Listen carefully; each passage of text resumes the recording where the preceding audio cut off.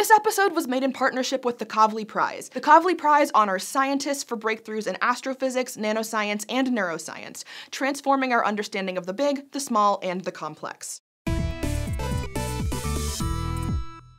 In 2002, a scientist named Conny Aerts was about to make a breakthrough. She just didn't know it yet. She was on Christmas break with family doing some light reading, if you consider over 20 years of data from one of Chile's La Silla telescopes light reading. Aerts struck gold by focusing on one star, elegantly named HD 129929. She saw that the light from this star was getting dimmer, then brighter in a regular pattern. The star was wobbling, but not in a way scientists had observed before. Aerts was about to become one of the first researchers to study a new kind of physics in stars, and today she's one of the world's experts in asteroseismology and a winner of the 2022 Kavli Prize in Astrophysics. Aerts was born to a working class family in northern Belgium, and her childhood in the countryside gave her plenty of chances to stargaze, but not the easiest route to academia. There weren't many opportunities to talk science or college admissions. Still, some of her teachers saw her potential and helped her become the first in her family to go to university. She studied math at Antwerp University, then followed her passion to a PhD in astrophysics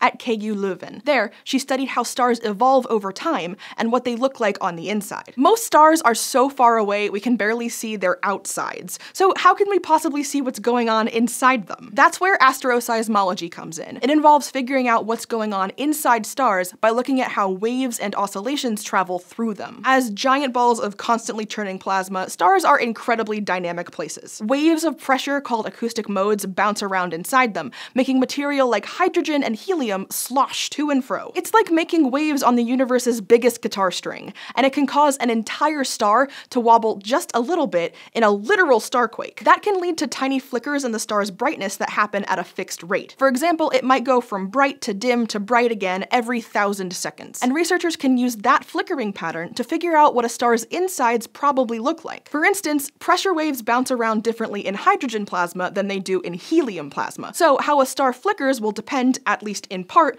on how much of each element it has. But back to Professor Aerts. She became involved in asteroseismology during her PhD in the late 1980s, and in 2002, after getting a faculty position at KU Leuven, she made her first big breakthrough. While on that fateful Christmas break, she noticed tiny, complex, and unusual flickers in the starlight from HD 129929. The flickers were at a lower frequency than you'd expect from acoustic modes in stars like the sun, and only half of them seemed to be caused by the usual stellar material sloshing around. It was a different physical effect, but what? The clue was that the star is about 10 times as massive as our sun. It's so massive that the material inside the star could be pulled inwards by the star's immense gravity. Then, that material would be pushed outward by radiation expelled from the star's core, and make the whole star ripple. By 2002, there had already been lots of research into the sun's interior, where we'd seen those acoustic pressure waves. But Professor Aerts became one of the earliest scientists to find these hypothetical gravity-based waves. And that was just the beginning beginning. A few years later, the big data era of asteroseismology began. Multiple space missions had launched that could detect these tiny ripples in starlight more easily,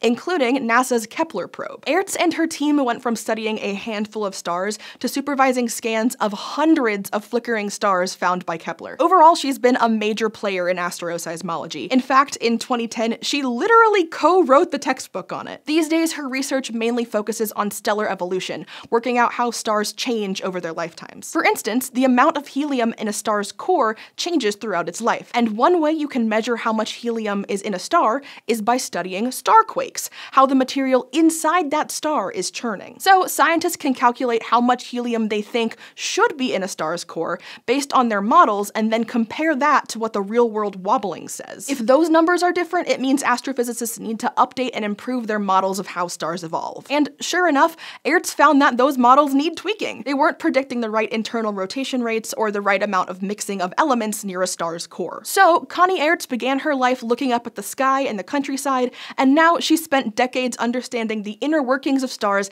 thousands of light years away. Her career hasn't just been limited to research either. Professor Aerts is also a major contributor to several European Space Agency missions. She's won several major awards like the 2022 Kavli Prize, and she's supervised over a hundred master's, PhD, and postdoc researchers. Many of her former students have gone on to great careers in science themselves. After all, Professor Aerts knows a thing or two about finding hidden potential deep within. This video was made in appreciation of Aerts' work and in partnership with the Kavli Prize to highlight one of the laureates of the 2022 Kavli Prize in Astrophysics. The Kavli Prize honors scientists like Aerts for breakthroughs in astrophysics, nanoscience, and neuroscience, transforming our understanding of the big, the small, and the complex. This year, we're partnering with the Kavli Prize to show off the awesome research done by winners of each of those Kavli Prizes. Now that you've seen the Astrophysics Award, you can check out the research that earned a 2022 Kavli Prize in Neuroscience. Thanks for watching.